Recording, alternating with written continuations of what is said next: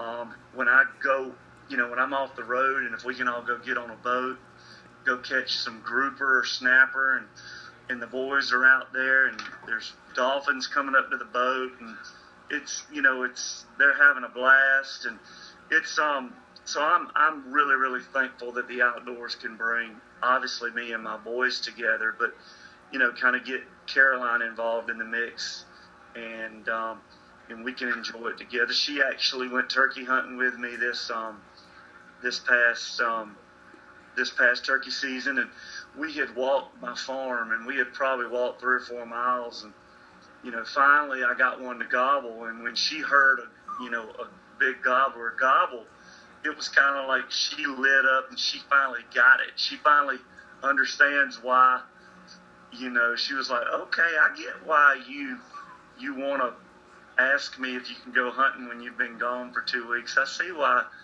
you know. So um, she's, um, I think, you know, Justin, you know, Justin can relate. I mean, it's tough to ask your wife, "Can I go hunting or fishing when you've been gone for two weeks?" And thankfully, I have a, a, a wife that truly under, you know, she, her father and her brother were crazy outdoorsmen too, so she understands, you know, how important it is for me as you know, being a, a, man and getting out there and being in the outdoors, and obviously, um, you know, taking my boys and, and letting them experience it too.